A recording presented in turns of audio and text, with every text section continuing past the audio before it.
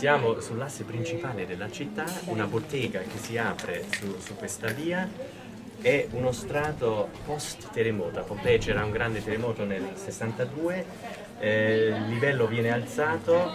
eh, però c'è un battuto di terra che consente a una testuggine, una tartaruga di scavare qua, incinta e gravida,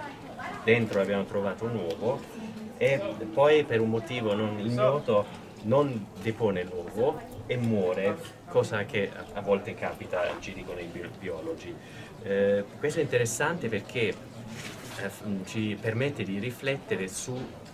Pompei in questa fase dopo il terremoto ma prima dell'eruzione, eh, quando molte case erano in eh, ristrutturazione, tutta la città un, un cantiere ed evidentemente alcuni spazi erano così poco utilizzati che ehm, potevano girare animali eh, selvatici, eh, entrare e cercare anche di deporre le uova in questo spazio. E poi ci sono anche frammenti de della decorazione,